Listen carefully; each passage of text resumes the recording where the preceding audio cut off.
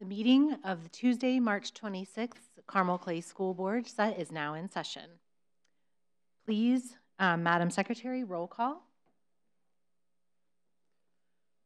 Everyone is present and counted for. Thank you, Madam Secretary. Please stand for the Pledge of Allegiance. I pledge allegiance to the flag of the United States of America and to the republic for which it stands, one nation, under God, indivisible, with liberty and justice for all. Next up, we have the presentation portion of the meeting to recognize our outstanding seniors with perfect ACT scores.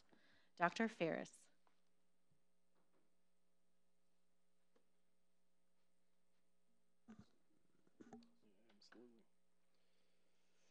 Dr. Beresford, member of the boards, it is my pleasure to be here tonight uh, on behalf of Carmel High School staff to recognize a very special group of nine students.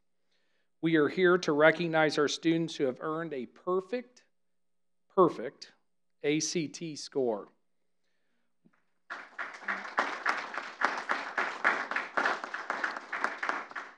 While their scores define their success on this one test, we are proud of all of their accomplishments. We know that they are more than a number to us. They are greyhounds who make daily contributions to our school community. We are thankful for each of these students on a daily basis and know again that they contribute much more than just a score on one particular day. So, on behalf of Carmel High School, our entire staff, uh, we congratulate each of you. Uh, I know several of them are not here this evening. And at this time, I'm going to invite our Director of Counseling, uh, Mrs. Rachel Cole, to come forward and she will present these individuals.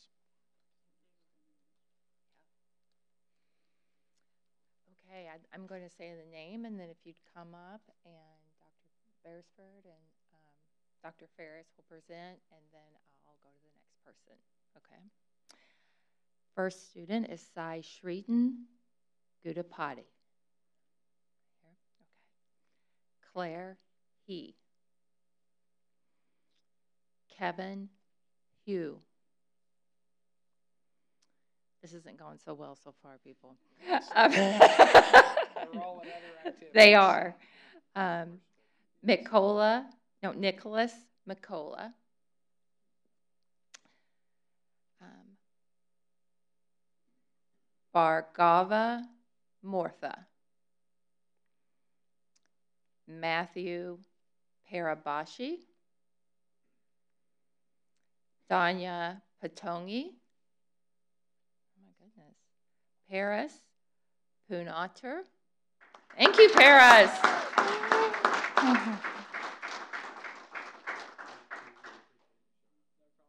yep.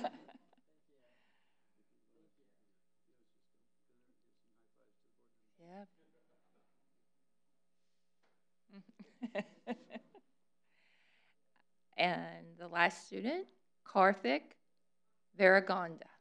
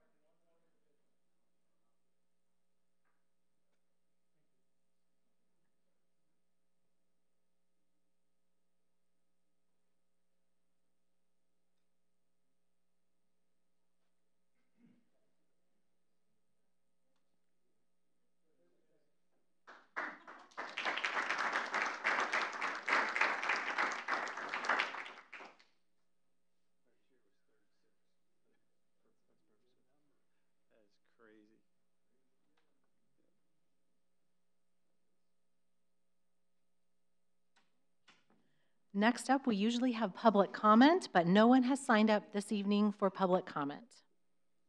So after that, on the agenda, we have consent. And as we've explained in, in some of our previous meetings, our consent agenda is the section of our meeting where we have our routine items that we need to approve.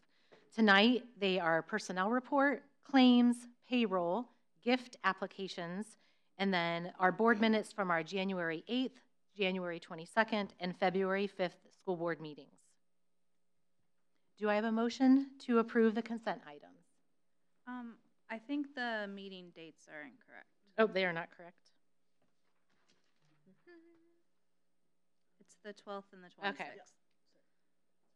Apologies. So our meeting, for the meeting minutes, we're going to approve the meeting minutes. So the personnel report, claims, payroll, gift applications, and then board minutes from the February 12th and February 26th board meetings. So moved. Do I have a second? Second.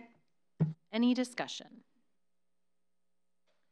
Seeing no discussion, we will now vote. All those in favor signify by saying aye. Aye. Motion carries.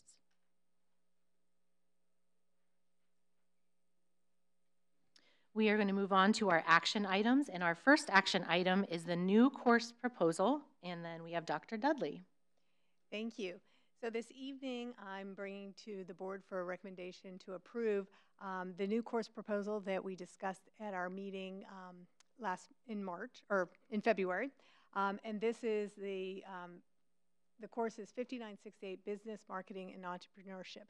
And this course, as I explained in our February meeting, this is a course that we actually um, have. This is a modification to the course, and it's changing the numbering of the course so that the students can take both this course concurrently with the other marketing and business courses. And these are for our students that work um, and do work on our Carmel Cafe. They're, they actually manage the Carmel Cafe.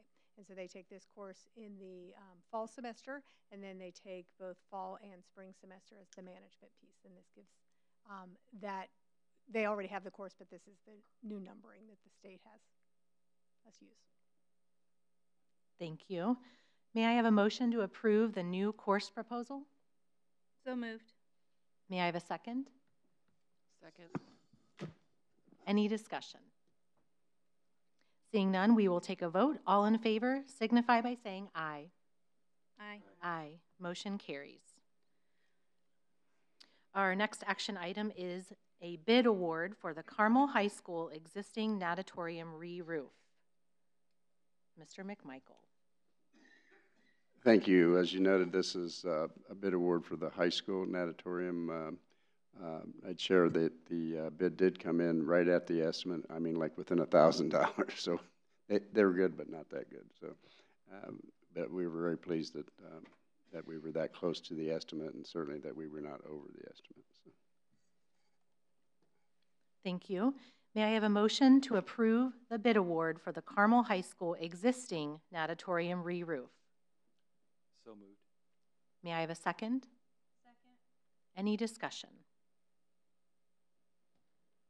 Thank you for that. And just to be clear again, this is the existing auditorium, not the new one. That's exactly they're- right. And this was building. by design. We waited uh, until later to, um, to re-roof that section. Okay, thank you. We'll take a vote now. All in favor signify by saying aye. Aye, motion carries. Our next action item is the change orders for the Carmel High School natatorium addition and existing natatorium renovations. Again, Mr. McMichael. A little technical difficulty. Okay. No. I think-. Okay, so the first one is uh, uh, an ad change order for, to General Piping, Inc. in the amount of 27, or $23,067. And we'd recommend your approval on that. And um, there's the detail. Uh, Small piece of this is back charge, but uh, most of it has to do with labor and materials required to install and add some additional ductwork in various rooms.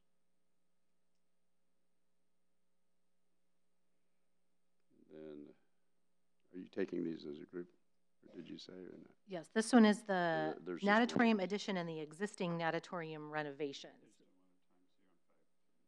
Yeah, I'm on five, the five-three one. Right, Oh, I'm sorry.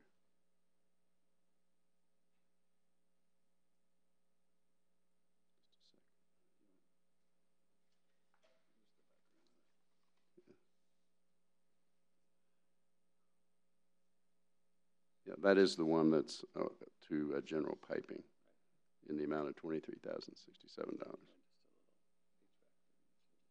Yes. Okay. Okay, so we're good. All right. Thank you. May I have a motion to approve the change orders for the Carmel High School natatorium addition and existing natatorium renovations? So moved. May I have a second? Any discussion? Right, no discussion. We'll take a vote. All in favor signify by saying aye. Aye. Aye. Motion carries. Thank you. We have another action item up next. It is the 2025, 2026, and 2026, 2027 Carmel Clay Schools calendars. And this is Dr. Oestreich. Good evening, President Coquet, Dr. Beresford, and members of the board. I recommend that the board approve the 25-26 and the 26-27 district calendars as presented at the March 11th, 2024 meeting. Um, Once again, as a reminder, next year's calendar does not change. That remains the same. These is two years in advance that we're approving this, these calendars for our community. And as a reminder, um, we uh, surveyed uh, over 4,000 of our parents, teachers, and community members uh, on uh, their feedback for the calendar. We gathered all that feedback to present the calendars as we shared last uh, meeting. And at this time, I'd be happy to answer any questions you may have. May I have a motion to approve the 25, 26, and 26, 27 calendars? So moved. And a second? And then any discussion from the board? Katie? I wasn't here to hear your presentation. Um, I did read it, read it and everything. I, so I, mine is more of a comment. I just want to thank you for continuing to let our parents and our staff um, to provide input, especially since this was our first week that we had the week-long fall break. Um, and then the results were overwhelmingly um, parents 72% in favor and staff 82%. So I think that that's great that we had the option for them to, to give that feedback if it worked or not and what they wanted projected for the next year. I also really like that we are ending um, towards the end of May. And I know we had to do some wiggle room along with that and stuff too, but I think that that's really great that they'll kind of get at least two full months before they come back in August. So just again, thank you for you and your team's work on this and for getting the input from our families. Thank you. Jennifer? Um, also, on the same line, I heard a lot of positive feedback in the community about the May end. And so, and I'm sure it's a huge feat to do such a large sampling study, but um, I think it's really good for people and it lets them have, feel more invested in the process. So thank you very much to you and your team. Thank you. All right, we will now take a vote. All in favor signify by saying aye. Aye. Motion carries. Thank you for that. Our next action item is the Carmel Clay Public Library appointment. Dr. Beresford. Yeah, the Carmel Clay School Board of Trustees has one appointment on the Carmel Pub Clay Public Library Board uh, that is uh, expiring as proposed. I met with uh, Mr. Swaney, the director of the Carmel Clay Public Library, and uh, um, and I shared that with you all that he um, really um, recommends the reappointment of Miss Stephanie Kim. She currently serves on Libraries Board as the vice president, and uh, the appointment would be effective July 1st of 2024 and will be scheduled to end on June 30th of 2028. So it's recommended to the board to approve the reappointment of Ms. Stephanie King Kim to the Carmel Public School Library Board. The four-year term will expire on in 2028, as I said. So that's the recommendation. Thank you. May I have a motion to approve the Carmel Ca- Clay Public Library Board appointment? May I have a second? Second. Any discussion? Seeing none, we will take a vote. All in favor signify by saying aye. Aye. Motion carries. And the last action item we have this evening is the resolution to authorize litigation against social media companies. Dr. Beresford. Yes, we discussed this a little bit, but uh, Carmel Schools um, um, is going to join other school systems in Indiana across the country in what's called a multi-district litigation. And uh, much like the Juul litigation that we were involved with um, due to the vaping crisis, um, this one is to hold social media companies accountable uh, for what I would we would describe as deceptive practices that target kids. Uh, these practices re result in addictive behaviors in students and other related mental health issues, uh, which uniquely impacts our students, our schools, and our families. So uh, it's recommended the board approve the resolution authorizing litigation against social media companies. Thank you. May I have a motion to approve the resolution authorizing litigation against social media companies? May I have a second? Any discussion? Um, I just want, uh, just a general comment. Um, I think that social media can do a lot of good, and I think it has done a lot of good. I think what we're drilling down to is the fact that they're, they're like, I think I love the, how you use the phrase deceptive practices, specifically for minor children. So I think that that's something where um, that's really what we're digging into. That, like, we're acknowledging the fact that there's good parts of it, but we're also, there's things that it's attacking, and we're seeing the results of that in our children today. Yeah, I would add to that, that what we're looking at here has um, some statements from the Surgeon General of the United States, and it's, it's very serious.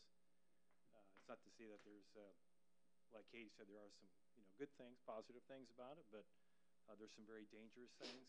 And, and I think that uh, there was a, a letter written by the Surgeon General, I think last May, uh, to the public at large, warning us about that, warning parents about these these problems And I think this is a, a case that I'm really glad to, that we're being a part of, and I think we need to send a message to these developers that have made um, algorithms that uh, uh, chase some nefarious things against our children and cause damage, uh, suicides, and other things.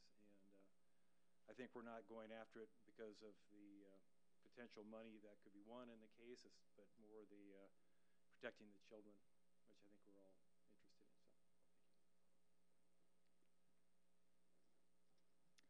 We will take a vote on this now. All in favor signify by saying aye. Aye. aye. Motion carries. Next up, we have the reports section of our agenda. And uh, before that starts, I just wanted to remind the audience here tonight that um, you know we they have spent a bunch of time, quite a lot of time, putting these together, and so we need to be respectful uh, and listening to these reports as they are presented. Thank you. Uh, up first, we have a staff and student services report. Dr. Oestreich. Good evening once again. For tonight's staff and student uh, services report, I've invited Gary Clevenger, Director of Transportation for Carmel Clay Schools.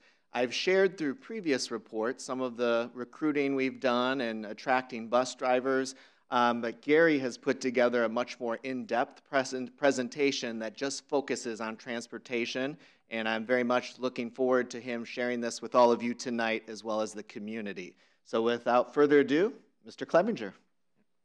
Thank you, Dr. Oestreich, and thank you, President Coquet, Dr. Beresford, members of the board, for the opportunity to speak to you tonight. Uh, forgive me if I'm a little little stuffy. I uh, you usually you'll find me in a polo and maybe a safety orange vest directing buses. So I'm a little out of my element this afternoon, but. Uh, uh, did want to go ahead and give you kind of a state of transportation, a bit of an update on where we're at staffing wise, some of the challenges that we've faced, uh, but also celebrate some of the victories that you may not, uh, may not have noticed unless you were looking at this data the way that I do every day. So I wanted to share it with you. So, just to give you a little bit of perspective, um, our transportation department transports, we provide uh, above 25,000 student transports every day. When we talk about a student transport, that's any time a student gets on the bus, they go to a location, they get off the bus. So uh, when you calculate that times 180 school days, that's uh, roughly four and a half million student transports performed every school year. And then what I like to put here is uh, safely, and that's really the qualifier that, that needs to be emphasized here. If you think about any time you do something four and a half million times, uh, think about the, the opportunity for error um, it, it's a phenomenal achievement what our drivers accomplish every year, and it's because we are very selective about who we choose to be a Carmel Clay Schools school bus driver. So that community really, uh, they really shine, and they don't necessarily always get the credit they deserve, but uh, hopefully you all will join me in, in celebrating those achievements. Um, in terms of our driving, you can see here every given day our fleet of buses are out on the road. We're driving a little less than 5,000 miles every day, well over a million miles driven every school year. So we are on the road and we are definitely uh, we're rolling. Every day we have roughly 700 routes that we are running. So it's a combination of our AMs, our PMs, our middays, uh, extra, our, our early childhood uh, runs that we're running. So you can see here a breakdown. I, I, won't go into to every bullet point here, but you can see a breakdown of, of where those occur. Obviously, the largest number are our elementary routes. And you can see here, I do want to draw attention to the 14 double routes. Um, and a double route, uh, for those who are not familiar, is a bus goes and they get a group of students, and they usually get them a little earlier than, than they normally would. They bring them to the school. There's staff there at the school to receive them. They then drop those students. They go back out. They run another route and then they bring those back on time with all the other buses. So it is a very efficient way of utilizing one driver to do two routes, but it does require some, uh, uh, you know, some pain points as far as there's a group getting up early, and then the afternoon there's a group staying at the school late. Um, so uh, it's not the ideal way we want to transport our kiddos, but you can see, you know, 14 sounds like a lot, but when you consider in 21 and 22 we were double that, um, that's a number that I do, I look at and celebrate. I do want to see that number continue to go down, and that's our, our continued effort and our continued focus. But um, we, are, we are making progress. Just to draw a little bit of attention to the number of drivers listed here, we have 126 full-time drivers.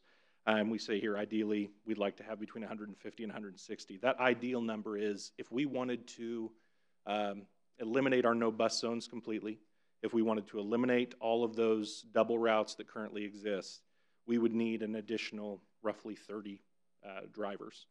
Um, a lot of people say, well, do we have enough buses? The buses are really not the problem. I need the, I need the professional behind the wheel that can do this job. And, um, you know, we don't just want somebody who can fog up a mirror. We want somebody who has the right heart for it. We want somebody who has the right focus for it. So, and you can see that's broken down even further. We have uh, we have a very innovative concept in our teacher drivers, and that's worked out phenomenally for us. Um, we've got seven elementary teachers who also drive a school bus for us. It's a really cool gig for them. It's a really neat experience for us because they come in with their student management understanding is, is you know, beyond compare. They come in and they just need to learn how to drive the vehicle. The students, they see them every day. They've got a built-in rapport. Um, but unfortunately, all they can do for us, they can do elementary routes because these are all elementary teachers. Then they got to go in the building and teach. Then they can come back in the afternoon. They take all those kiddos home. So we get limited use out of them, but we do love the fact that we have those resources available. We have uh, 18 drivers that are on kind of a 50 50 job share. Uh, our average age, and I know I have a slide that gets to this, but our average age of our driver is roughly 65. So we have a lot of retirees from other fields a lot of uh, professionals in, in various industries that have chosen to do this in their retirement, and we love that they have. Um, but it also means that we get them for a shorter period of time because eventually they want to really retire. Like they want to do an actual retirement and go and do something fun and not wake up at you know five in the morning. And uh, and we don't blame them. But uh, what that does mean is a lot of drivers will slowly kind of phase out and they'll go from being a full-time driver to oh maybe I'll drive the morning and I'll find a partner to drive the afternoons or I'll drive one week and then my partner will drive the next week and we'll do a week on, week off. So we are very, very creative and very flexible in terms of what we will work with. I've got, uh, I've got subs. You can see here 28 sub drivers of varying availability. And when I say varying, I mean, you know, they are, uh, you know, we have some that are AM only, some that are PM only, some that are, you know, one week on, one week off, some that are snowbirds. We have some that are available every third, you know, Tuesday of the month as long as it's a waxing crescent of the moon and I mean, so we're, we're very flexible. We'll work with anybody. We really want to, uh, we've leveraged coaches as well to get them trained. So we are, um, we're definitely looking at all availability. And then I wanted to celebrate this as well. And I'm going to celebrate the fact that this slide is wrong because it says six drivers in training. The actual number is five. And you say, Gary, that's less than six. Why are you celebrating? Because one of them got their license and became a driver. So we were very excited about that. Yeah. So we do have uh, a new driver who just started this week, and he's completed his certification process. So we are very happy to have Greg on board and driving his routes, and he's been doing very well. The other thing I wanted to draw attention to is our, our process for becoming a school bus driver. And I know that we say this a lot, and I know Dr. O has, has, has mentioned this a lot, that it's, uh, you know, it's, it's more than just expressing interest, applying for the job, getting hired. There's a lot to it. So I, I don't know that I necessarily want to go over every bullet point, but I do want to just highlight for you this step number one, all of this has to be done before that person could ever come inside our doors and get on a bus and start learning how to drive it. So they need to apply for us. They, we do an interview. And then at that point, there's a whole bunch of federally mandated requirements that have to take place. So um, they have to go to the BMV. They take four written exams. They take those as many times as they need to until they pass them. And then at that point, they have to come here. We will send them for a pre employment drug screen. We will send them for a DOT physical, and there's actually a couple of different physicals they have to complete, as you can see here. Um, and it's pretty rigorous. There's background checks, there's enhanced background checks, enhanced DCS checks, there's an enhanced BMV screen that we have to do. We don't want anybody who has a, a crazy driving record. So they go through a lot of, uh, of checks, and they go through a lot of um, kind of under a microscope, and, and rightly so, because we want our drivers to be the best of the best, and we want to make sure that they are here for the right reasons, for the protection of our kiddos. So after they've done all of these things, then they finally can go to the BMV, they can turn in their paperwork, and they can say, hey, I'm going to get a permit. And now that I've got my permit, that lets me sit on a school bus with a qualified driver trainer and drive it on the road. But I can't have any students on board. This is just learning how to drive the vehicle. Then next, we actually begin our, tra- our, our paid CDL training program. So it's approximately four to six weeks, it's about 54 hours. And I love our training program, and I'll brag about it to anybody. They are paired one on one with a driver trainer. Our first time pass rate for our trainees that go down to do their CDL test is in the high 90th percentile, 97.5% roughly, which is, it's unheard of. I mean, we are, uh, you know, knock on wood, we're very, very good at what we do. Our trainers are very good at what they do, and we're mindful of the fact that we're not going to send a, a, candidate down to test until they're ready and until we feel that they're ready. So we will never, uh, we'll never shortchange anybody's training. We'll never uh, rush it. And then they can also work for us as a bus aide during route times if they're available, which is, has been a great thing. It's a great way for them to learn about student management.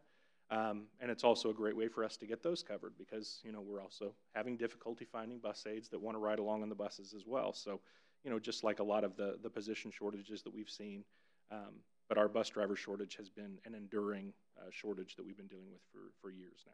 So, um, so after this is all completed, they've got their CDL completed, they've got their license in their hand, uh, they've now completed all of those requirements and they can legally drive that vehicle, but they can't drive it with kids yet. So that brings us to step three. Step three is the certification program. So they get a license, or I'm sorry, a certificate through the state of Indiana and start working towards what's called their yellow card. You need a license and a yellow card in your hands to be able to drive a school bus with children on board. So they go through a large uh, uh, curriculum of training and they must do minimum hours of observation, minimum hours of driving time in order to meet um, the requirements of the state and federal government. And then at that point, once we feel that they are qualified, once we've had them drive with several different drivers who can mark off that they've completed these requirements, then uh, they have obtained their yellow card and they are certified to drive our kiddos. So if that sounded like a lot, it's because it is. It's a lot. Um, and I think there's there's a lot of talk nationwide about, man, you know, it, it, would be really helpful if we could make these requirements less stringent, or if we could um, take some of these, some, some of the red tape out of this and take some of these requirements and throw them out. Um, I, I, would love for this to be a faster process, but I can't find any of these things that I would be willing to sacrifice from a safety standpoint. You don't want um, drivers who have had less than what they're getting here, and you don't want drivers who have had less than, than what we give them here at Carmel Clay Schools. This is, uh, this is the best of the best that we're putting on the road, and you know we'll, we'll stand behind the, the folks that we have. But it does mean that it's selective. It's a selective group. It's a short group. So we need to make sure that uh, you know we're trying to get more people to join our crew. We would love to, to have more people on board, um, but I will never, um, you know, sugarcoat it for them. I do want them to know what they're stepping into. Okay, just to show you our progress. When you look at these resignation numbers and you kind of look at them compared to drivers hired, uh, this is another area where I'd say, you know, this actually, when I see the behind, behind the scenes of this, this is a success story. So you look down here, I want to draw your attention to the very bottom bullet point 45 driver resignations in, in the 2021 school year. Uh, there was an event that happened around 2021 that we all remember, um, and it did lead to quite a, a bit of, of um, driver resignations during that time. Um, and you can see during that same year, hiring wise, uh, we definitely didn't make up any ground. About 33% we were able to, to make back up or rehire. But over time, what I'm very, very proud about is that resignation number, knock on wood, has continued a decline, and that hiring number has continued an incline. So I'm, I'm very positive about uh, our future as far as continuing to attract new drivers. Um, but you know, it also is, is definitely dragged down in terms of, of the number that we've lost over time. So we don't, uh, we're still kind of digging our way out of that hole, and we're just now getting to the point that we're starting to, uh, starting to, to break even. So the thing that I like to stress to people, and I always stress this to my team as well, because I think it's really important for their morale. If you judge um, our progress by, you know, do we have every driver we could possibly need and beyond, um, then you would say, oh, well, we're not there yet. But if you judge our progress and the hard work of the team by our ability to stay even um, with all of those losses, with all of those resignations that have come through, um, that I think in itself is a pretty tremendous feat. And I do, I, I, my team has done a remarkable job um, processing these, and we've worked very tirelessly with the HR team getting these processed through. So we're, uh, we're, we're good buddies with our HR team getting things processed, and it's, it's been a lot of work. Um, you know, and sometimes it's uh, just staying even doesn't seem like a huge accomplishment, but when you know what happened behind the scenes to make it do that, um, I think it is. So just to give a little bit of information, I know some folks have asked about compensation. Um, we are actually one of the highest paid uh, school bus driver, as we have the highest paid school bus drivers, uh, at least one of in the in the kind of greater Indiana or central Indiana area uh, in Hamilton County as well. So we pay roughly 175 to 180 a day, uh, roughly five and a half hours a day. So you can see the breakdown there hourly. Um, like we said, our average driver age is roughly 65, which means that insurance in the past has not really been a, a big priority for them. Uh, the surveys we've always sent out to our staff have indicated that the vast majority of them want to see that all of that money put towards compensation. They want to get that money in their check. So that's kind of where we've targeted our, our focus. And you can see, you know, the reason we, we haven't necessarily gotten all the drivers we're hoping we get is because, like we said, it's a very selective job has a very selective schedule. Not everybody wants to wake up uh, at 4:30, 5 in the morning, depending on where you live, and not everybody wants to come here and drive a 40-foot vehicle around a roundabout with 60 kids behind you and you're back to them. I mean, it's uh, I, I, get it. I know I'm selling it really well, um, but it is uh, it's a tremendous job. And if you talk to any bus drivers, um, they will tell you how much they love it and how much they love getting to meet the kids every day and how much they love getting to kind of live vicariously through these kiddos and they tell them about their experiences and all the firsts they had that day and did you know this and it's like yeah i did but I, I you know it's neat that you didn't and you got to learn about it today so it's a, it's a really cool process and it's a really neat uh, rewarding job and so um, you know if you're worried about the vehicle don't be you know, Dr. Beresford always says you can, if you can drive an SUV around a roundabout, you can drive one of our school buses. Um, maybe not as fast as some of those SUVs I've seen going around the roundabouts, but we do. Uh, you know, we will will get anybody trained, even if you've never seen a school bus in your life. Uh, you probably have, but uh, we can get you behind the wheel, get you rolling, and uh, and very comfortable with these vehicles. If anybody's ever interested, you just want to stop by the office, talk a little bit. I can take you out. We can get you out in the parking lot, have you take it for a spin. So if the vehicle is what's worrying you, please don't let it be. Um, but again, we want the commitment to be somebody who is looking out for the safety and well being of our students. So, no bus zones. Um, obviously, in 21 22, we had to make some very, uh, very difficult decisions about how we were going to deal with the uh, pretty drastic driver shortage that we had. Among our strategies was the implementation of a no bus zone, which was roughly a one mile radius around each school building, each school building. Um, I say roughly because it's not necessarily a perfect circle. We took into account, um, you know, large thoroughfares, dangerous streets that shouldn't be crossed, those types of things. So, um, those were implemented along with the three-tier bell system. So we went from a two-tier system to three-tier to maximize the number of routes each driver could drive. Uh, and then we also implemented things like double routes, which we've talked about before. Our no bus zones include about 10% of our students, so roughly 1,500 uh, students or so, um, that would have been eligible for transportation with the implementation of the no bus zones were, were taken out of that eligibility. Um, and this just allows us to ensure that the most number of students uh, that we have, that we can provide transportation for, are getting it reliably and timely. And I think that's important. That's the, a distinction in our strategy versus maybe some other school districts uh, near us who have had similar issues, but um, you know, not to fault them, but they chose to kind of ride it out, and then they would handle it as situations presented themselves. The problem with that is when they present themselves, you have to react very quickly, and sometimes that reaction is, we can't have school today.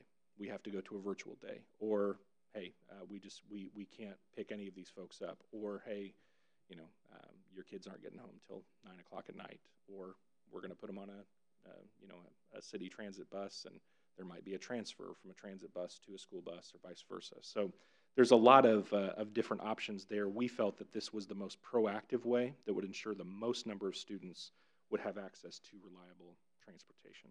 We also worked with the city, and the city was phenomenal in working with us to get uh, crosswalks put in place, get crossing guards put in place, uh, more infrastructure such as the, the flashing light crossings. Those have been really great, and they, uh, they had those available and implemented very, very quickly. So we, we really appreciate our relationship with the city. I've also been asked about things like uh, bus location apps. There's a few vendors out there that have these apps.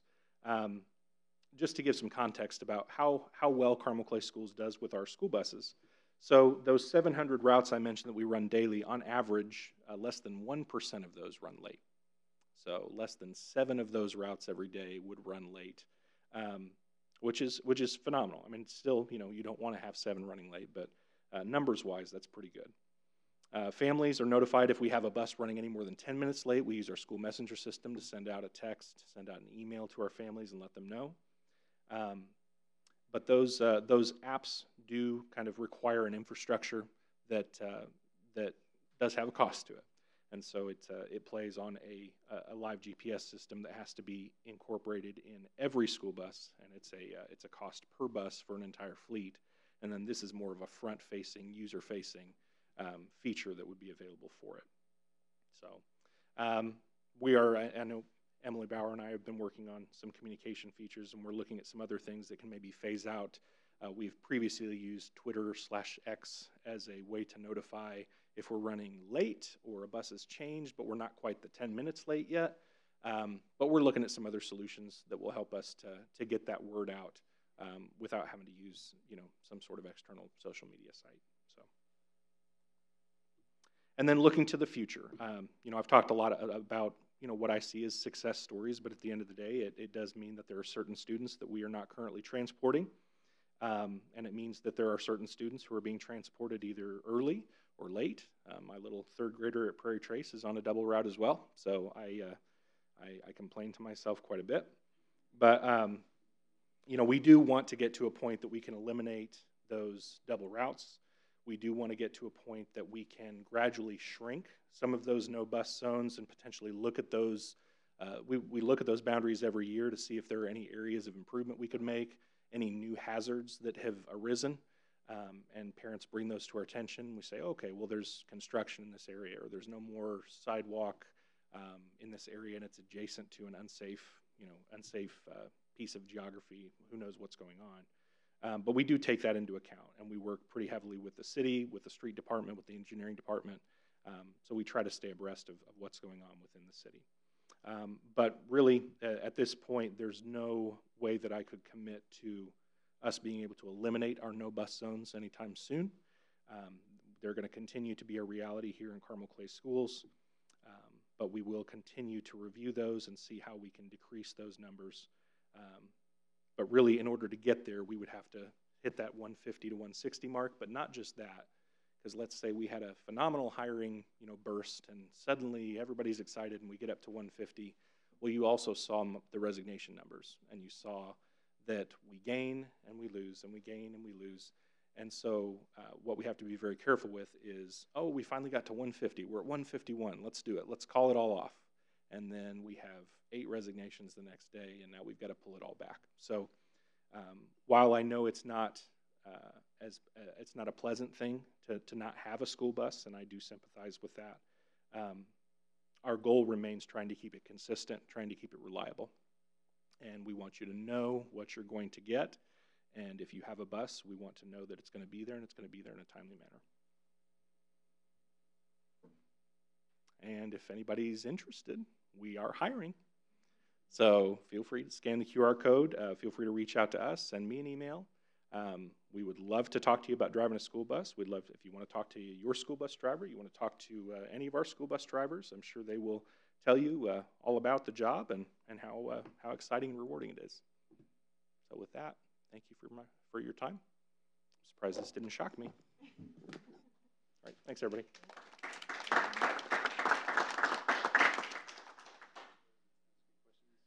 Any questions or comments? Louise? Gary, before you leave,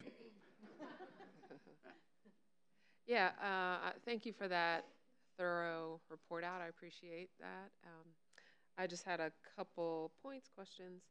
Um, I am excited about the continued rigor we use to train drivers and assess their competency. I think we might need some of that for school board members. Um, but I just thought that was funny. Um, I also like that I can see attrition going down. Yeah. Um, so one of the questions I had is what do we, what can we do? What's the number one contributor um, to that number continuing to decline and retention improving? You know, I think um, the other thing that kind of wasn't included in that data is a lot of that hiring. Uh, I think a lot of it has been our flexibility. So what that story doesn't tell is, um, you know, the the great hiring uh, strides that we've made. Um, some of them are full time. Some of them are folks that can do AM only, PM only. So uh, it's not, you know, it's not a complete apples to apples. Uh, what I can say is those 45 that we lost in 2021 that was that was a gut punch because those were all those were mainly full time drivers. Um, so we've been our, our flexibility I think has drawn a lot of people in, and we've kind of helped them maybe dip a toe in the water and, and see that it, it is something they like and they want to to you know take more of that on. Um, but also it just means that there's there's that much more work to do and that many more hires that we need to do to bring those folks on. So as far as attrition, I think it's just been making sure that we recognize. Um, we had a, a, a, kind of a banner um, pay year, I believe it was 21, 22, when we uh, made some changes to their compensation that was was pretty significant. And that um, I know that made quite a few of our drivers happy, and they felt acknowledged for the the additional tier that they were taking on and the additional work that they were going to be doing.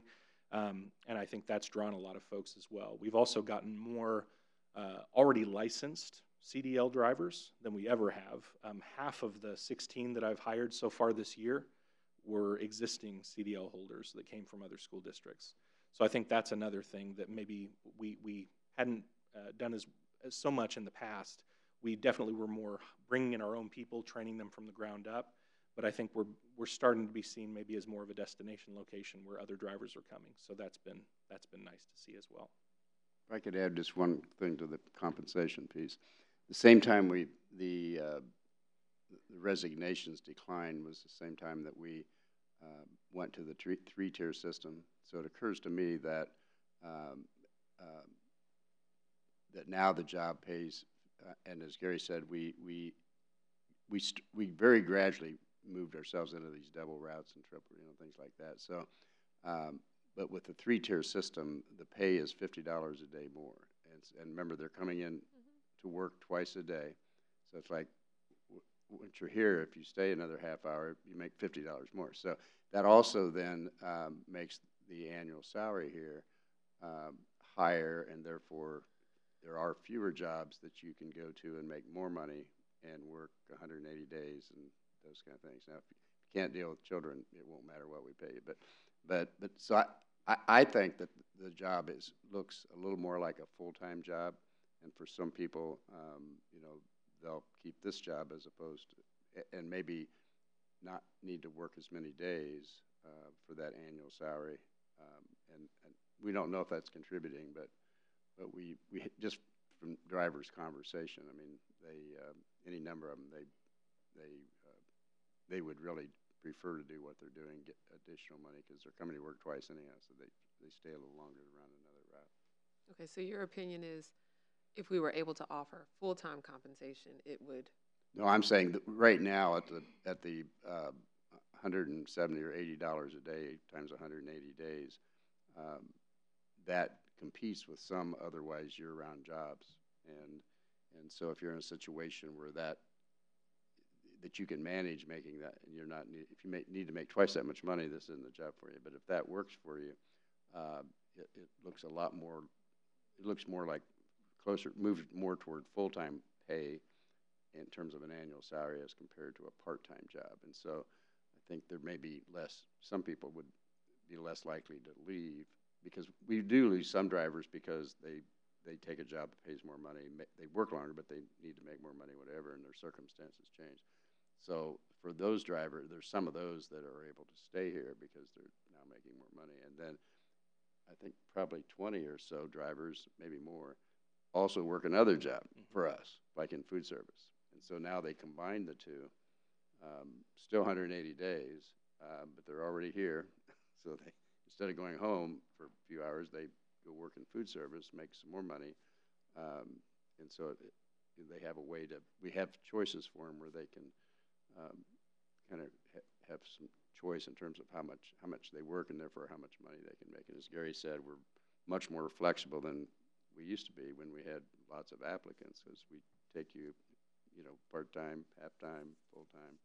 yeah. So I think I hear you saying we've increased the pay by fifty dollars. We talked about that, and there's some opportunities to make additional pay. But it go, it gets down to being able to compensate at a higher level. That might help with retention. And the flexibility, I think, And the that this job offers as well. mentioned. Just Yeah. being able to come in and like Roger said, you can still make a, you know, getting closer to a full-time wage. Yeah. But you also have the middle of your day free and, you know, Mhm. you're coming in for a few hours in the morning, a few hours in the afternoon. Mhm. So it's attractive for a lot of people, especially folks who can kind of make their own schedules or, you know, have, have other things that are a little more flexible. Okay, okay. And then I think, Dr. B, you probably could speak to this, but I've, you know, I'm one of those parents that I, through the years, were, was pretty frustrated about um, high school starting um, or high school getting out after elementary, wanting my older kids to be there when my younger kids, you know, got off the bus so that I could work my full time job. Can you just remind the public of why that is not an option for us or why we've chosen to go a different direction? I'll throw a big vocabulary word down here, circadian rhythm, but uh, there's just a boatload of research that uh, adolescents um, operate on a later time schedule, and uh, and so the, the the research is just overwhelming that uh, really elementary kids do better earlier, uh, and then middle school and high school kids do better. Really, uh, most research says that after 8:30 and anything between 8:30 and 9 o'clock would be optimal and so uh, um, they're just on a different a different time schedule at that at that point of development in their in their lives. So that's what the that's a brief on a lot of research. Thank you. Katie?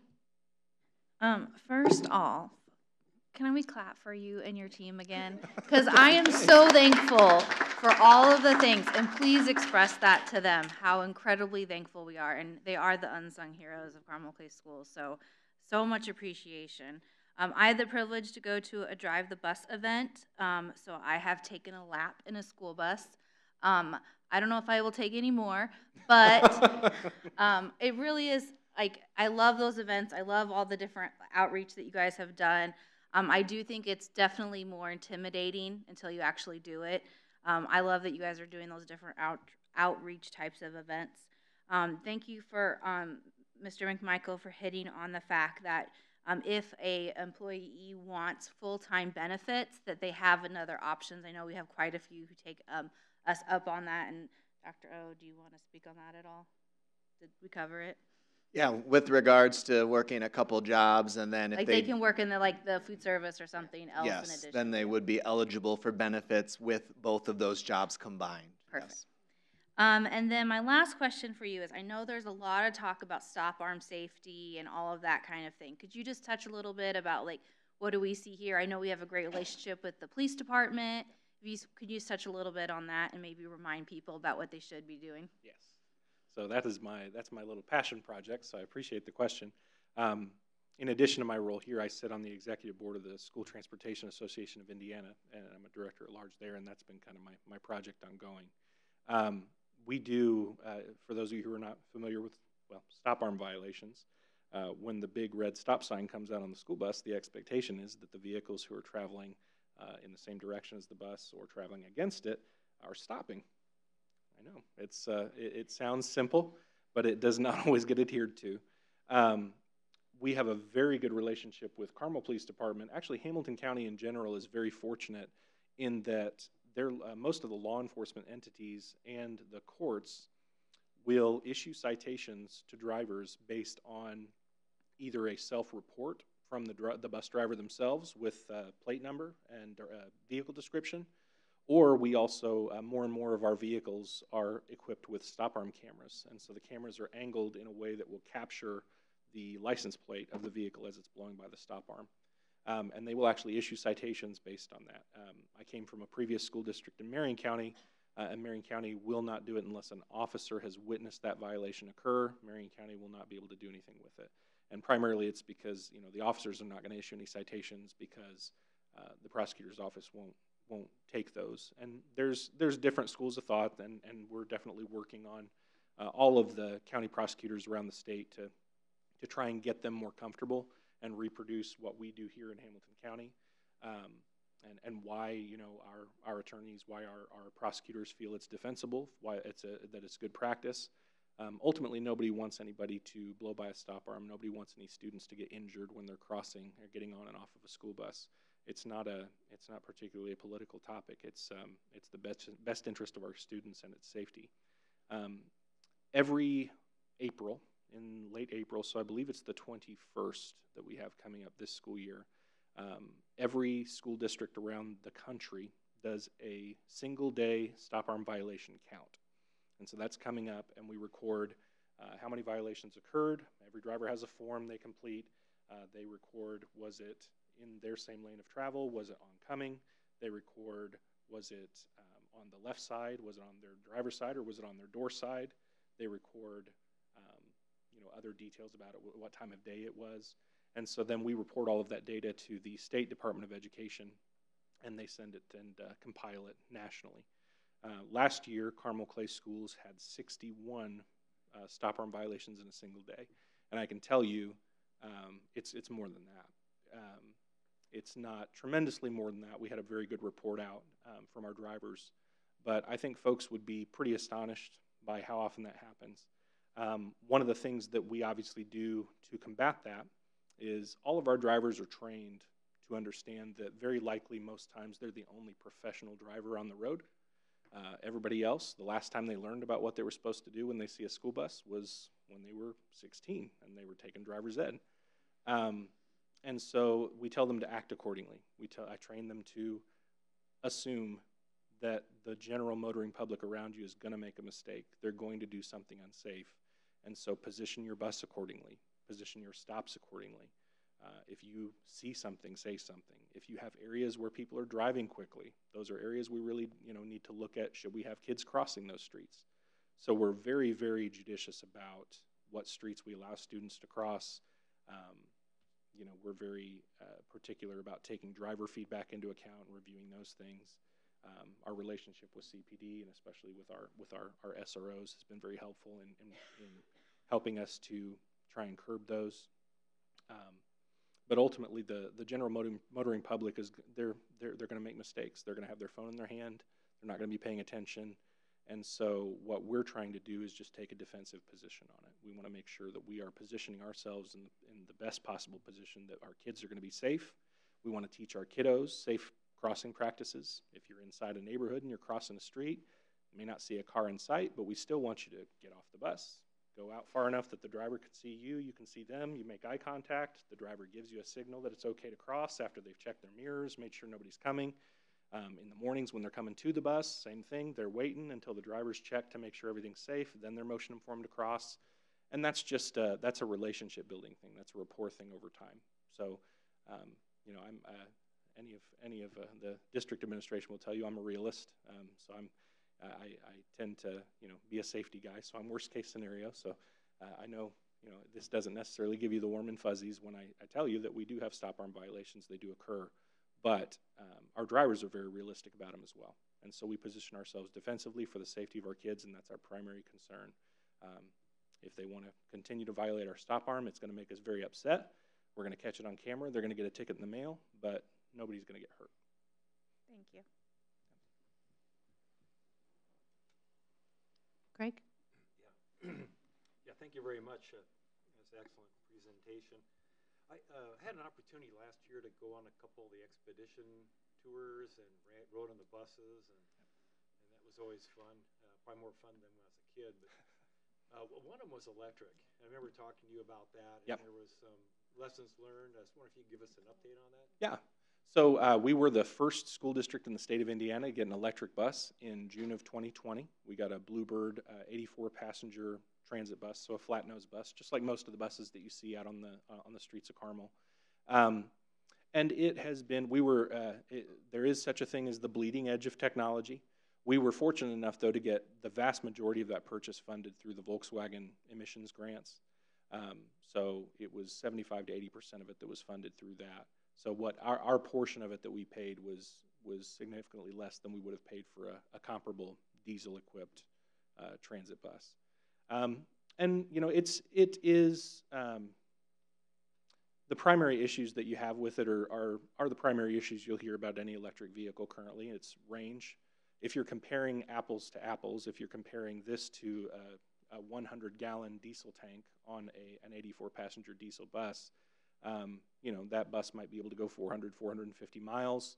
Uh, the electric buses, you know, even if we're on the highway, would maybe be able to go 150, 200. So it's it's not there yet. The technology is not there yet for it to compete. Um, it's not a situation where we would advise retro, you know, taking our entire fleet and replacing it with electric buses today. Just don't think that technology is there yet. I'm definitely curious the, to see what kind of strides they've made in the four years since we got our first unit. I would love to, uh, to take a look at another unit, but um, the only way I would do that is if it were similarly subsidized the way that our first one was, because uh, it's if uh, out of pocket one of those buses is roughly five hundred thousand dollars, um, and for context, uh, a comparable diesel equipped bus is two hundred thousand, which still makes me shudder a bit because when I started in transportation 10 years ago, they were under a 100,000. So it tells you how inflation's been going. But yeah, it's uh, it, I, I, definitely don't want to knock it too much. It's a it's a pretty neat, neat technology, um, and it definitely has. I, I, would say if that technology can improve, uh, it's the best possible use case for it because school bus uh, stops, school bus routes are start stop, start stop, start stop. And if you know anything about combustion or compression engines, uh, they don't like that. So if an electric bus could get to the point that we could have similar range uh, reliability things, if we could get to a point that infrastructure was built in, uh, that we could take it on a trip to Chicago or any of those things, and we wouldn't, you know, we could stop and charge it for a similar amount of time where we would stop and fuel up a bus. That'd be great, but we're just we're not there yet. So I think it's been a neat lesson learned, but uh, you know, it's it's just one of those things that it, it, it, still has room for improvement. And, and Cummins and Bluebird have been a really good partner in it. They've retrofit uh, quite a few things on it for us just to, you know, to get our feedback. And so they're constantly asking us questions about how it does, how it performed with this. Cold weather performance was another area that it didn't do as well in. And so um, we're just very, we're very cautious about the times that we will use it. Um, but it is fun to drive, and the drivers who we have trained to, to drive it do really enjoy it. Um, it's very quiet. I joke that you should put a Bluetooth speaker on the on the front of it that sounds like an engine revving, because otherwise it will it will sneak up behind you like a golf cart. So, yeah, so I, I believe we, uh, when we buy buses now, we expect to have like a twelve-year length of service. Yes, we, we're required to have a five-year plan for replacement, but, but the short answer is yes. It used to be ten years ago, and for quite a while, it's been twelve. Um, and we, we are looking the possibility of keeping them a little bit longer than that, depending on, you know, new technology and safety features. Years ago, um, there's been a lot of improvements in terms of the safety of the vehicle itself, as there has been with cars. But, um, but typically, it's 12 on a 12-year cycle. So, but we're not, the technology is not at a point where we'd want to start phasing them in at this time, it sounds like. Well, the other thing I should The mention. electric bus. Yeah, Yeah. No. we have a, we have kind of a, a middle technology that I, I don't know if I mentioned, but, uh, we have thirty-one propane-powered buses as well. And so that's a technology that all of our, uh, well, the vast majority of our special needs buses are more mid-sized buses that have wheelchair lifts equipped on them. All of them, for the most part, have been transitioned over to propane fuel. And it, uh, very low emissions, uh, very, very low emissions. And, uh, range is fairly comparable to that of diesel. And so that's been an area that we've seen a lot of success in.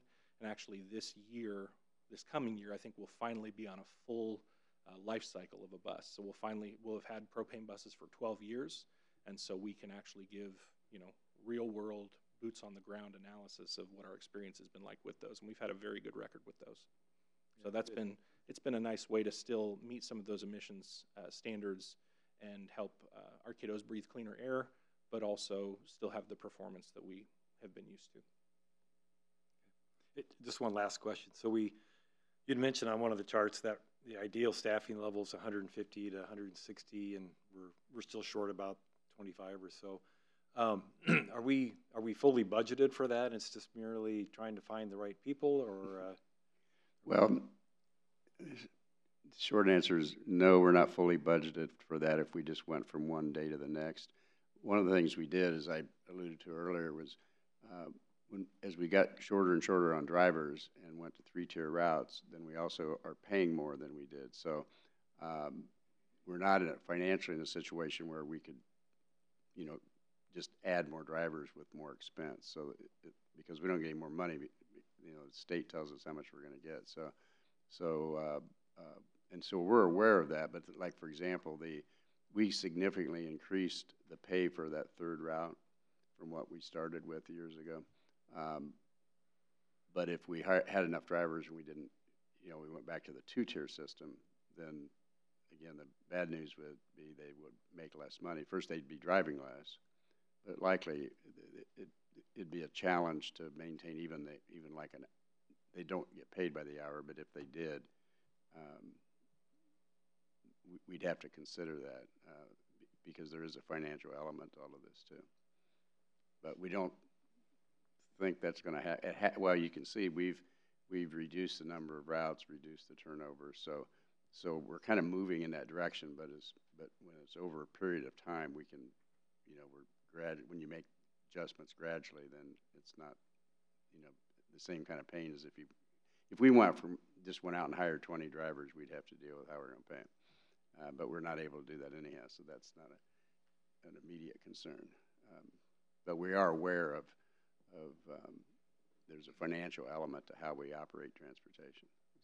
So we have to, we have to be sensitive to that. so, so are we are you saying that we're we're gradually trying to reach those ideal levels? Well, it's not, a- it's not a choice because there's not enough applicants out there to, to do anything other than gradual. And, um, and, and, and we've continued to, you know, to, to really, to hire as many dri- qualified drivers as we can. And so,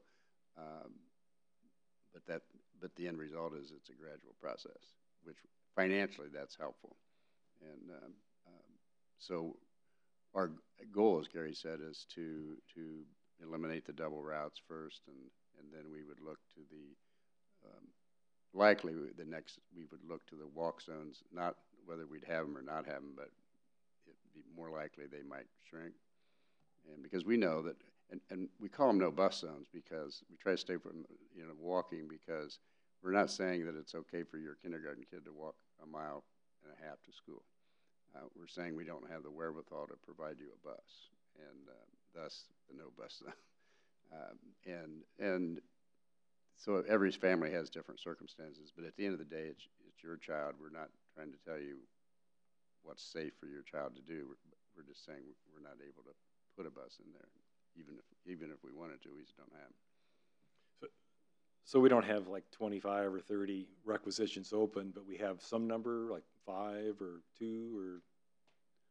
Or you You mean open positions? Yeah, like, Yeah, well, I, I think it's fair to say that we're, we're just constantly hiring. So in this case, it's not a matter of we're trying to fill, you know, ten jobs, um, because the, the number is big enough, it- if- and it's gradual enough process that if we find, you know, our goal is to get as many in training as possible and then, and have as many of them turn into, you know, full-time bus drivers.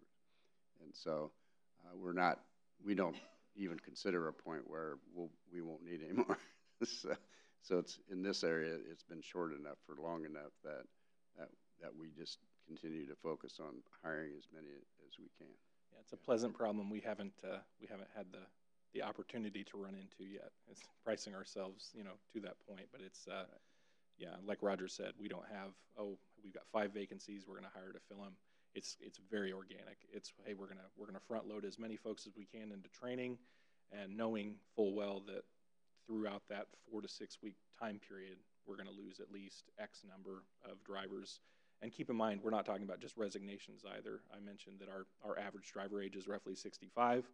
So with that often comes replacement parts that need to come along. And so, you know, we got folks that will go out for surgeries and they need to get a knee replacement or shoulder replacement, hip replacement, that kind of thing. And so those can be longer periods of time that they're out.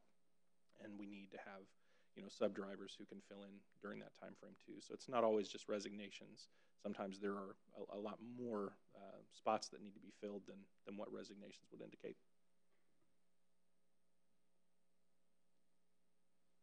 All right, thank you. I just had, Jenny, do you have anything? No, all right. I just wanted to say kudos to you and your team. And I had a question on the, the slide prior to this one. I just wondered what the, the non-CDL vehicles.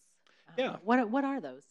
So non-CDL vehicles, um, there are some districts who have invested in uh, either small, uh, like your white activity buses, or um, SUVs, or uh, even in some cases the small yellow buses, as long as they are less than 15 passengers. Um, you would not technically have to have a CDL in order to operate it, but that driver still would have to have an Indiana yellow card. So they still have to go through all of the certification pieces, which is slide three uh, of step three of that process I showed you. Um, they just wouldn't necessarily have to do the CDL portion of it. So what we find is we still run into the same problems. Um, there's, as far as interest, uh, I've got a, a handful of people right now of staff members who are IAs in the building, and they're also considered non-CDL drivers for us and they utilize our smaller activity buses to transport kiddos who need like a one-on-one transport. Um, so we've been able to leverage them for those kind of special use cases. But in terms of just you know having a vast fleet of, of smaller vehicles, um, eh, we just we haven't been able to find that interest. So we're really uh, we're really approaching it from the perspective of if we can get somebody over the fear of the commercial vehicle and its size, um, then then you can do that same job, but you know we'll, we'll we'll get a lot more bang for our buck, so to speak. You can transport 50 kids, uh, elementary, 50 middle school, 50 high school, rather than you know two here, two there. Excellent. Thank you so much. This was a great presentation. Thank Thank you. you for your time. Our next report, Mr. McMichael will present the monthly financial update.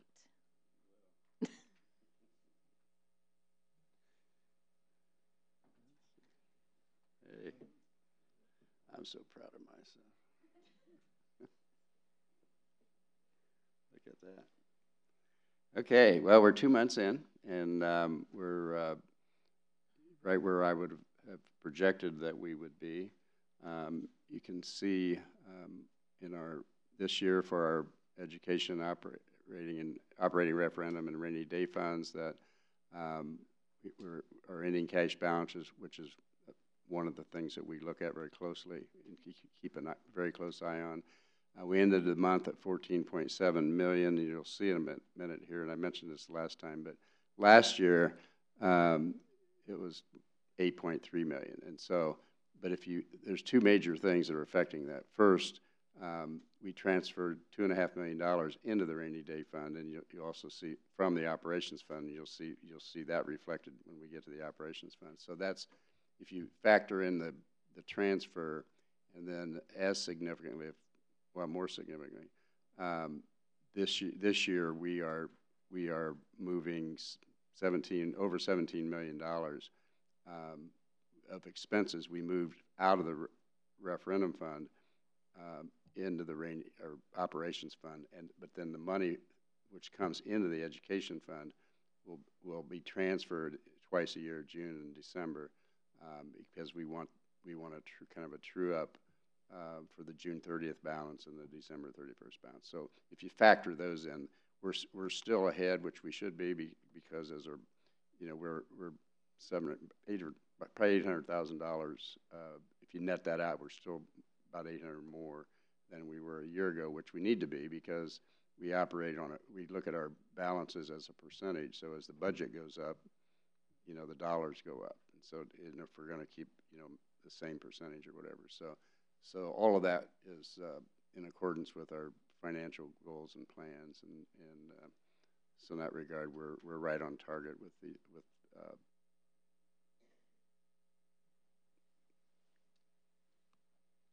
Okay, so in the operations fund, same thing. Now here, we're two point five million dollars in the negative. That's because we have expenses here, but our revenue, um, virtually all of it is coming from property tax, so we, we receive that twice a year, and so that always starts, continues to get low, and then, then it comes back up when we get the tax draw. And again, you can see that last, uh, last year, um, it was uh, negative three hundred thousand. So a couple million dollars difference, and that's for the two reasons that I explained in terms of the transfer and the, and of funds as well as the transfer of from this fund to the rainy day fund. So with that, I think I'll respond to questions that you might have. You can see here, well, the last thing would be the rainy day fund. We have, we're running at four point, um, almost four point seven million. Um, and we plan, that's a planned intent to increase this over time, uh, which will then result in, in increased uh, cash balance, which is another goal that we have. We, we've had a minimum of 8% for years. Um, we'd like to get it closer to 12 than 8. And so we're moving, we've been moving in a positive direction in that regard. So with that, I'll respond to questions if you have.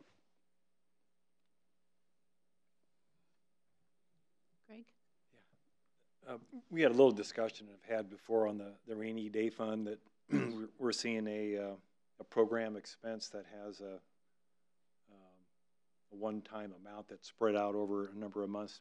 Perhaps you could share some Yeah, details on that? yes. Um, the rainy day fund is intended for just what the name implies. It's if you have a rainy day. And so something very unexpected, that's the, the primary focus. If you have something very unexpected, um, you've got some cash reserves, um, that, that can get you through hopefully until, until something changes. Um, but for, so for sure, in Carmel at least, um, we absolutely look at rainy day fund as, as non-recurring expense. If, you know, if you have that rainy day, uh, because it's been an, it's an accumulated balance, so it'd be like, you know, living off your savings account. If you lose your job, you can do that until it runs out, but, um, but we don't intend to, to charge off recurring expenses like salary and benefits, for example, uh, to a rainy day fund. In this case, it was not, um, uh, you know, I, it wasn't a surprise where, where we, we chose to use rainy day funds to, to uh, pay for the transition to our, our new evaluation system for, for uh, teachers. And, and it's over a period of a few years. Amy could be more specific, but, but uh, here we, we elected to, to pay that from the rainy day fund. It's, it wasn't like an emergency, um, but it does meet that standard of, of a one-time expense. And uh, whereas the education fund, for example, is almost entirely recurring expenses because it's salary and benefits and of our staff. And so, so we could have, uh, I have to stop because they've, they've changed the use of the education fund from what it used to be the general fund. But for sure, this would have either, could have either been paid from the, could have been paid from the operations fund, but then we're transferring money you know, from the operations fund to the rainy day fund. So, you know, if we, if we use that, then it would, all things equal, be less money to, that we'd be able to transfer over to the rainy day fund. So, so that's why we, we just made a conscious decision to charge it there. We didn't give it a, you know, a ton of thought, um, because it financially, it doesn't really, didn't really matter. Yeah, so what we're seeing in these two months of the sixteen thousand five hundred, that, that will run its course. Yes. I think the total amount over a period of, uh, what, two, three, three years is about two hundred and twenty thousand dollars, and we've paid probably a majority of that at this point, but because we're, we're more than halfway through. Um, So, so that'll continue un- until we, um, get, get to the end, end of the three years. Okay, thank you. All right, thank you very much, Mr. McMichael. Thank you. Our next report, uh, Mrs. Browning will present the legislative update. Yeah, so, um, th- I had something nicely written up and now I can't find it, so, um, I'm gonna, bear with me and I'm gonna call an audible also to Dr. B to help me. Um, so get ready. The biggest thing I wanted to follow up with is on State Bill, um, Senate Bill number one regarding reading, um, skills. This was a big priority for the legislative this year. Um, it, they did, it did pass, it was signed by the governor. Most of the laws were signed by the governor around mid-March. Um, they, it does state that if a third grader does not pass IREAD, that they can be held back. Um, but what I am happy about is there's a lot of things added also into the bill that does some more stuff before third grade. So I think Carmel Clay Schools is doing a lot of these things already, but I do like that they added more provisions for, we need to catch this before third grade when we're having to hold students back. Um, so that has been signed by the governor, or signed by the governor on March 11th. So that was one of the, the bigger things that I know that we were watching. As far as our legislative priorities go, um, quite a few of the things that we were really hoping would come up in this legislative session did not.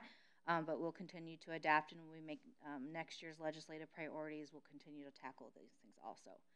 Dr. B, anything to add specifically?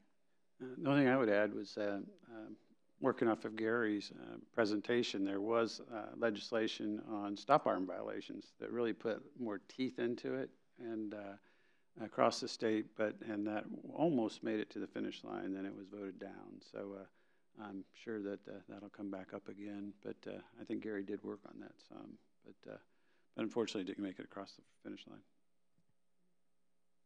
Um, if there's, I'll kind of, once I do find my document, um, if there's anything that's particular, I'll make sure I email you guys and let you know about that. All right, sounds good, thank you. Our last report this evening is the superintendent's report, report from Dr. Beresford. All right, thank you. Um, Really appreciate Gary's presentation tonight. Um, Just to give you a little um, perspective, um, for us to hire th- over 30 bus drivers two years in a row is like a new track record. Um, I've been in the business over 40 years, and we've never been able to hire that many bus, bus drivers in, in bigger districts than this one. Um, So uh, that was pretty phenomenal, and I think a lot of that was because uh, Gary worked very closely with Dr. Oestreich and Dr. Herrera, and uh, they were doing about as many creative things as you could think of to uh, to get people interested in, in driving a bus.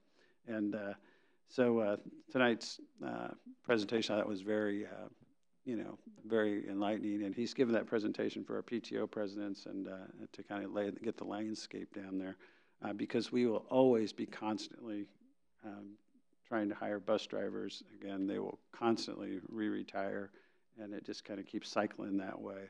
Um, it really has been a pretty impressive thing when the great resignation uh, after the pandemic hit uh, to be able to recover to breaking even.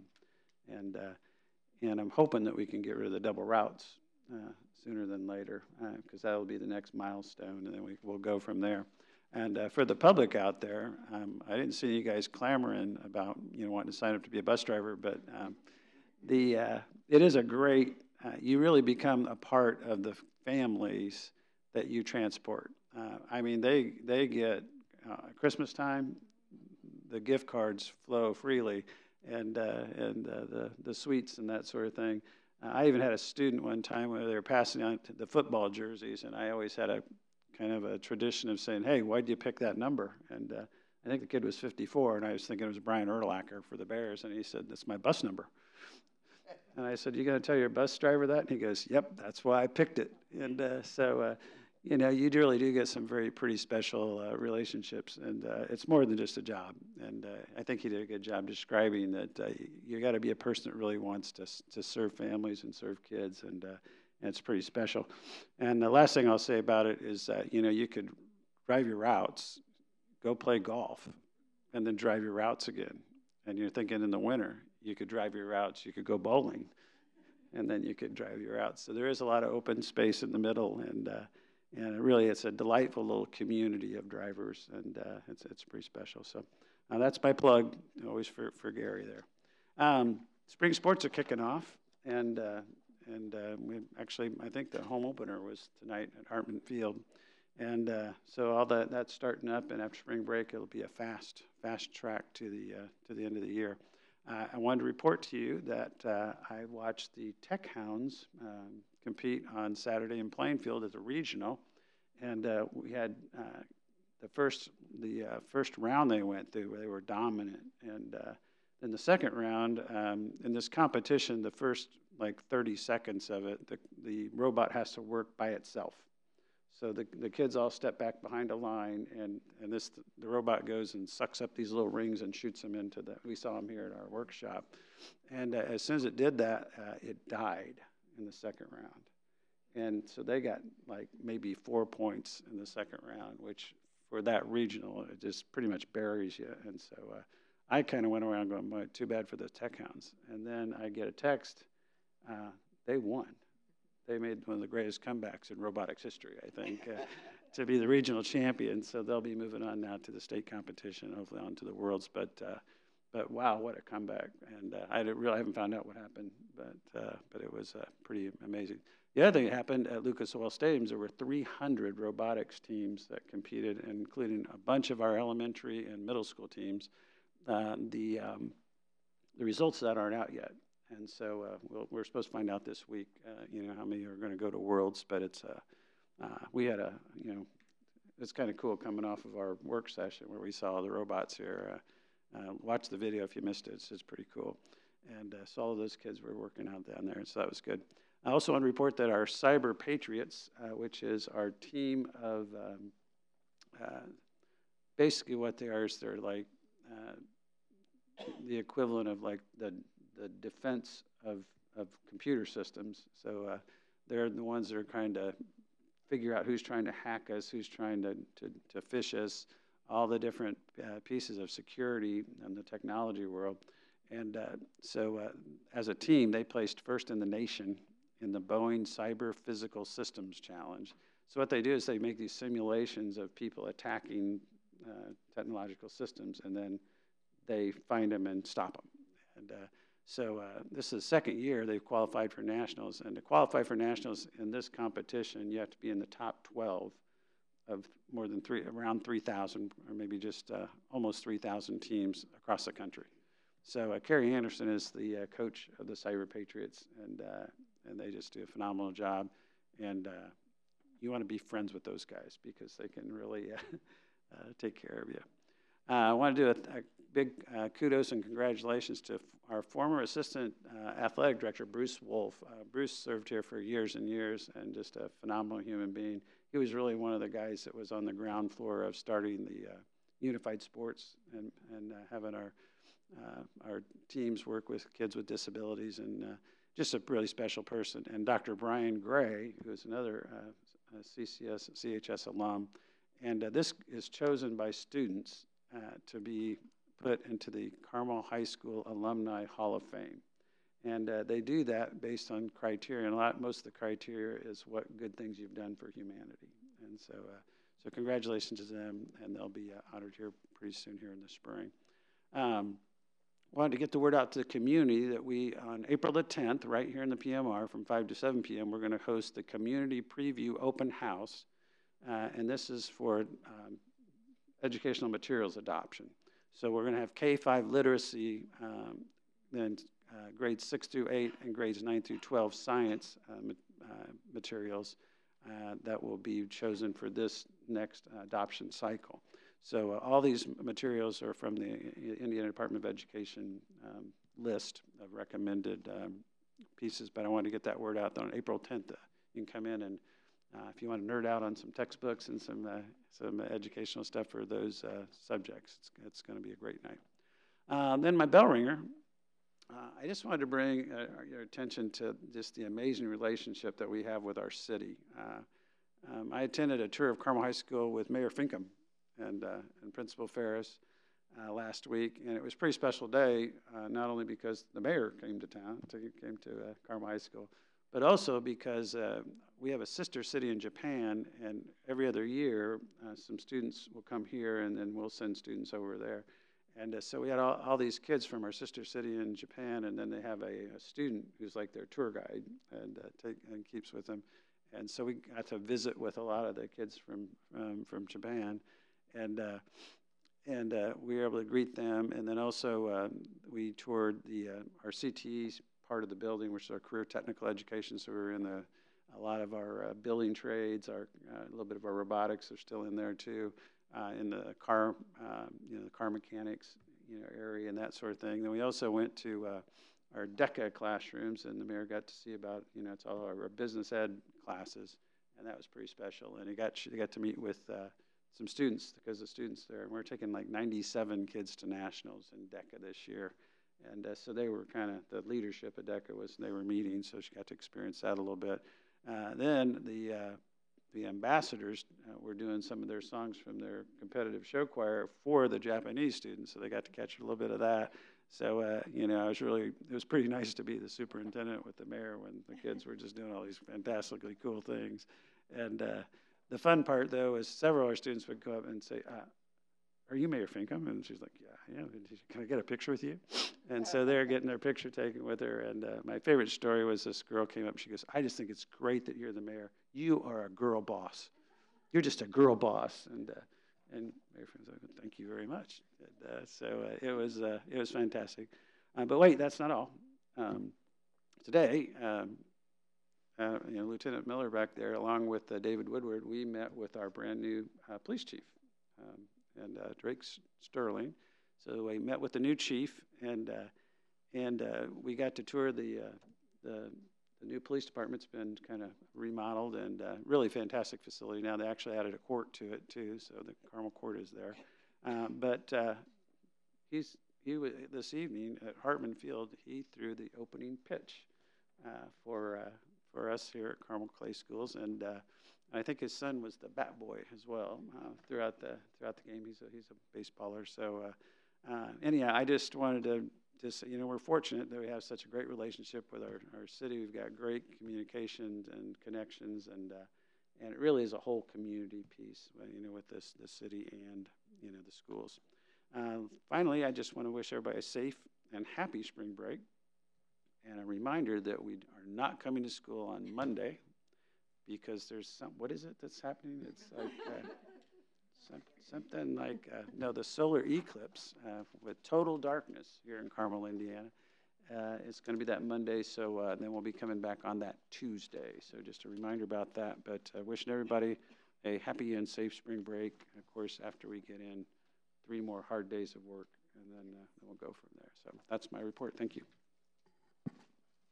Thank you. And a reminder, as Dr. B said, there are three more days of school. Our, you know, our original calendar had uh, the students off on Friday. However, that day was switched to uh, April 8th to avoid being in school during the eclipse. Um, so the spring break starts next Monday, April 1st, and is through April 8th. Um, our next school board meeting is at Clay Middle School, so that will not take place here. Will, we will be at Clay Middle School on Monday, April 15th.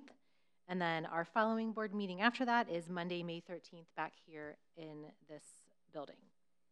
Can I have a motion to adjourn this meeting? And a second? Second. meeting adjourned.